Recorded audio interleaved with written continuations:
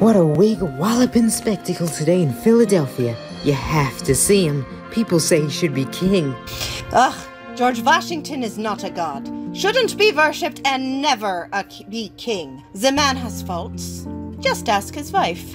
If all men are created equal, why are there slaves? Why don't we have a big house like Moneybags Morris? And if all men are created equal, are all women created equal too?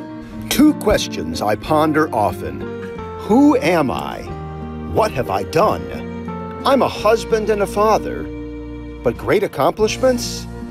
There are none.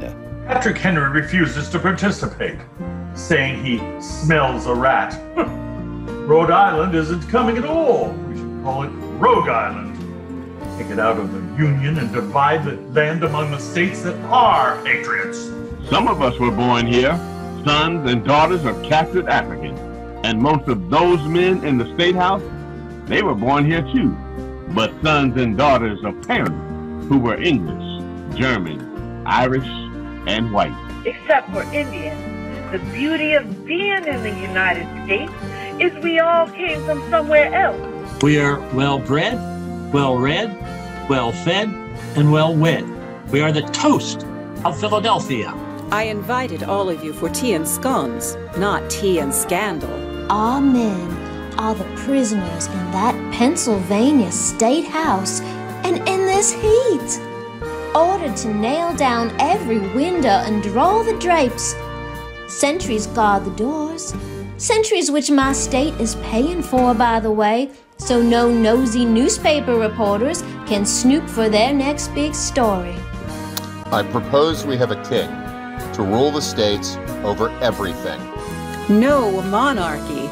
The king's redcoats stayed in this very house during the war, desecrating the space in which we sit. What would happen if we, wives and daughters of the delegates, sat in the Pennsylvania State House, could debate, vote? What kind of document would we create? Invisible! Cook says I should be invisible.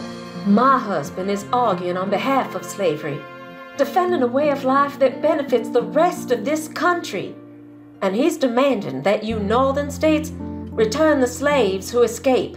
We bought them. They belong to us. We the people! We the people! We're people, but we're not men. Nothing but trouble when women read. In our world, women set the table without complaint, cook the food for the table without complaint. But we are rarely sitting at the table because we're busy serving without complaint. Set the table, Jacob. History needs your quill and ink. It's a miracle, a mystery, our country's birth certificate. You put it right there in black and white. You said we the people, we have equal right, but we're shackled and chained. We own nothing, not even our names. We are mere men with parchment, pen, in our words and deeds we are flawed. We're not God. What will be our legacy? We the people! She, the people. We, the people. See the people. I'm a people too.